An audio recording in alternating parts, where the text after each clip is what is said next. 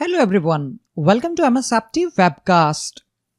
In this video, we are going to see the steps on how to add Microsoft Intune Device Enrollment Manager and how to use that account to onboard device into Intune. The question is, what is Device Enrollment Manager and why do we need it? A Device Enrollment Manager is a non-administrator user who can enroll devices in Intune. Device enrollment managers are useful to have when you need to enroll and prepare many devices for distribution. User sign in to a DEM account can enroll and manage up to 1000 devices while a standard known admin account can only enroll 15. Do not get confused with Intune admin account and a DEM account. However, a device enrollment manager user cannot be an Intune admin. A DEM account requires an Intune user or device license. Remember, you do not create device enrollment manager, you just promote an existing user to be a device enrollment manager. In other words, the users must be already created before you designate them as a device enrollment manager. Using local admin account, user sign into his device to enroll it. The account user used to enroll device will also get the admin access on that particular device. But if we use device enrollment manager to enroll the device, and then the user will not have the admin access on that particular device. Global administrators and Intune service administrators can add, manage, and delete device enrollment managers in the Microsoft Endpoint Manager Admin Center. First, we need to access and log into the Microsoft Endpoint Manager Admin Center. You can access Microsoft Endpoint Manager using the URL https colon double slash endpoint.microsoft.com. On dashboard, click on users. We will be on all users page. Here we can see the list of all the existing users. In this video, we will be adding our existing user TestDEM as a device enrollment manager. Click on TestDEM. First, copy the user's UPN. Later on, we will need it. Let's check the license status as well. Under Manage, click on Licenses. We can confirm that user has active Enterprise Mobility plus Security E5 license assigned to him. Click on Enterprise Mobility plus Security E5. Verify user has license for Microsoft Intune. We can confirm that TestDEM has Microsoft Intune license assigned to him. Let me click on users. We have another user account named TestUser2. After enrolling the device, using the device enrollment manager, we will sign in to the device using TestUser2's credential. After that, we will check the user's account level on that device. Let's click on Devices. Under Device Enrollment, click on Enroll Devices. Click Device Enrollment Managers. At this moment, we haven't added any Device Enrollment Manager in our Intune. To add new Device Enrollment Manager, click on Add plus icon we need to enter the user's UPN name that will be our device enrollment manager. Paste the UPN which we have copied earlier. Click on add and wait for the confirmation message. We can see the confirmation message successfully promoted a user. That's it. This is how we can add device enrollment manager.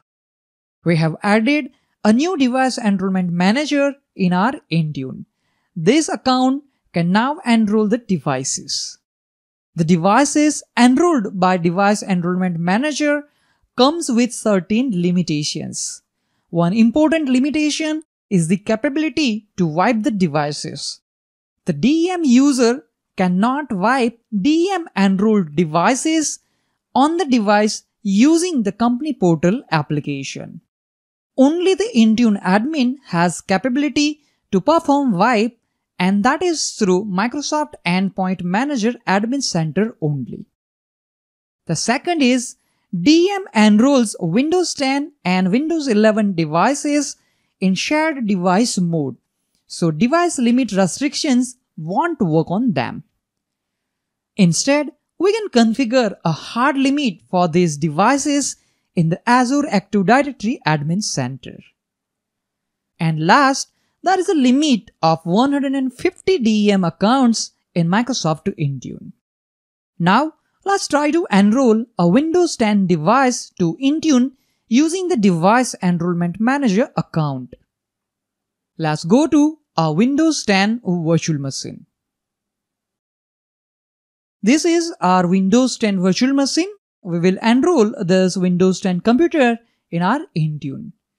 Open command prompt and type command hostname and press enter key.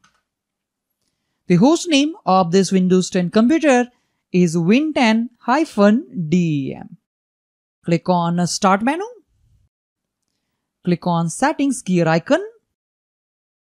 Click on Accounts. Click on Access Work or School. And then click on Connect. Click on Join this device to Azure Active Directory. You will be prompted to enter your Azure Active Directory user account credential. Enter Device Enrollment Manager's UPN, which is dem at msappsurat.onmicrosoft.com. Click Next. Enter user's password and click on Sign In. Once you are sure about the organization Azure AD domain you want to join, click on Join.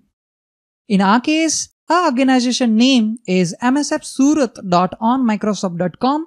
This is the username and user type is going to be administrator. Click on Join. This will begin the enrollment and will take some time to enroll the device into our Intune. Click on Done to finish the process. The machine will now show that it is connected to MSF Surat's Azure Active Directory. We also want to confirm the device is successfully enrolled in Microsoft Intune. Go back to Microsoft Endpoint Manager Admin Center web interface. Click on Devices. Click on All Devices. Here, we are not able to see a newly enrolled Windows 10 device yet. So I'm going to click on refresh. The device is still not there. So let's go to our Windows 10 computer and let me sign out from there. So I'm going to close this. Uh, let me close command prompt and uh, let's sign out from this Windows 10 computer. This is the, our current local user account. Uh, let's click on sign out. Uh, we will use test user tools credential to sign into this Windows 10 device.